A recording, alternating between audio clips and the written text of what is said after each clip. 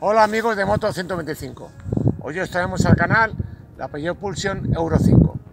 La adaptación de Peugeot en el segmento del scooter GT, en este caso compacto, adaptado al Euro 5. Para ello han tenido que incorporar una mecánica SIN con mucha tecnología y que se muestra muy, muy brilloso, tiene mucha aceleración. La versión que os mostramos en esta prueba es la GT, que sustituye al anterior RS y se caracteriza por un equipamiento más deportivo parabrisas alto ahumado, asidero del pasajero tipo spoiler, alfombrillas metálicas y manillar de tubo desnudo que tiene la ventaja de poder regularse en altura para adaptarse al piloto. Peugeot recupera el motor SIN que utilizaba en el ya desaparecido Belville, potenciándolo con más compresión y cuatro válvulas hasta los 14,4 caballos, bajo directiva Euro 5. Se distingue a primer golpe de vista el Pulsion E5 de la versión anterior en la situación lateral del radiador. El silenciador es nuevo, es largo pero estrecho y queda bien recogido. El Pulsion presume de estar fabricado en Francia, concretamente en las naves de Mandiure. El parabrisas está acabado en tono ahumado y su altura se regula en dos posiciones, aunque se requiere emplear herramientas para ello. El trasero central no es muy alto, para facilitar pasar un pie al otro lado. Y como ves, al ser ancho y plano, podrás transportar objetos sobre él. El tapón del depósito de gasolina se abre desde el botón correspondiente junto a la base del manillar. Las estriberas del pasajero están hechas en fundición, con acabado cromado y superficie antideslizante. Para desplegarlas habrá que hacerlo a mano. Cuenta con dos caballetes. El lateral tiene interruptor de seguridad, pero no corta el encendido, sino que lo limita a 3.000 vueltas. El disco delantero de 260 mm cuenta con ABS combinado SBC, único en la cilindrada de 125. En el freno posterior contamos con un disco de 210 mm que hace muy buen papel. No es tan intrusivo como el resto de los scooters por la contribución delantera. El tren delantero se compone de una horquilla con barras de 33 mm y 95 de recorrido, acompañado de una llanta de 14 pulgadas pintada en negro con ese toque amarillo del acabado GT. Los amortiguadores traseros tienen un muelle de un solo paso y proporcionan un recorrido de 90 mm. Su tacto es durillo. Contamos con dos guanteras. Dentro de la guantera izquierda disponemos de una toma de corriente USB para recargar el móvil o enchufar el navegador. Otro accesorio que no podía faltar es el gancho. Se encuentra en la parte central superior del salvapiernas y es de tipo retráctil. Soporta 2,5 kilos.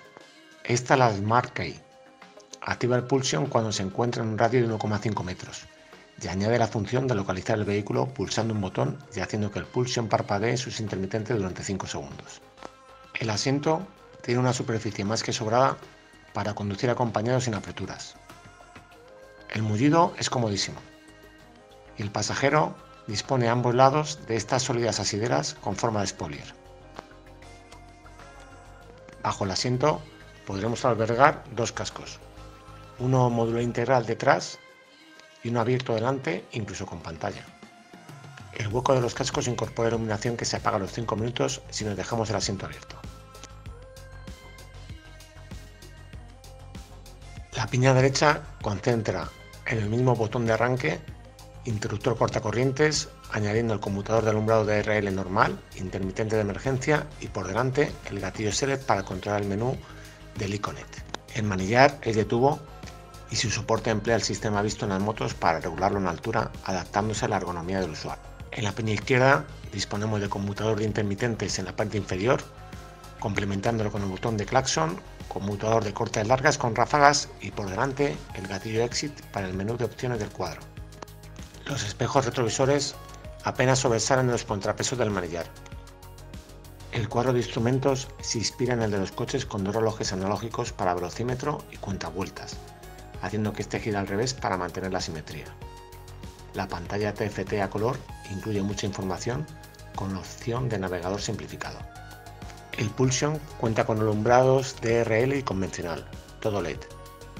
En el convencional, los focos de cortas se sitúan en la parte superior, mientras que los de largas lo hacen abajo, los colmillos laterales hacen de luz de posición y en DRL son más intensos.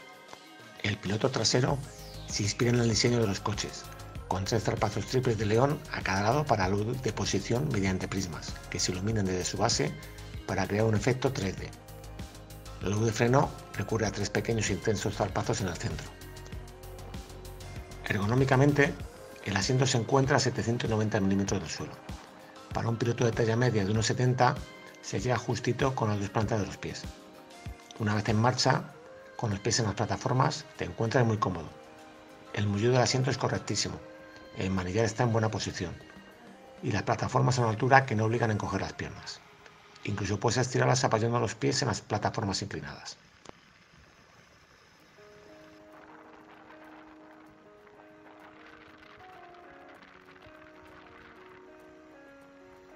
Dinámicamente, disponemos de un chasis rígido, unas suspensiones que tiran a durillas y unos neumáticos, los Michelin City Grip, con goma blanda que van bien en todo tipo de climatología.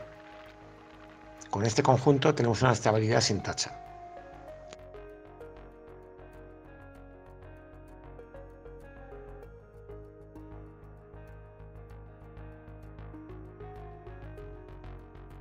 En ciudad se encuentra muy a gusto.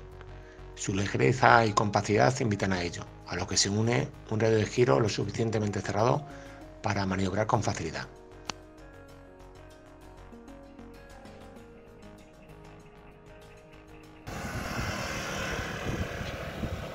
Una vez que sale esa carretera autopista, la combinación de ruedas de 14 delante y 13 detrás aportan suficiente estabilidad para rodar con total seguridad.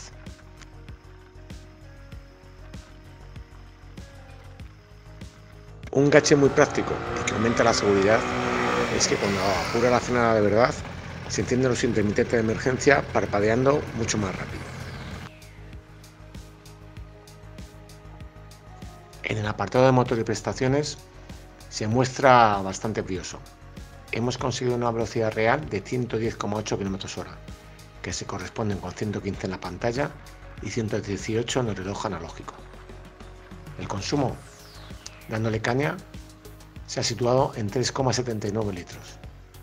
Está lejos de los optimistas 2,6 que da el ordenador de a bordo, pero aún así son muy comedidos para el ritmo mantenido.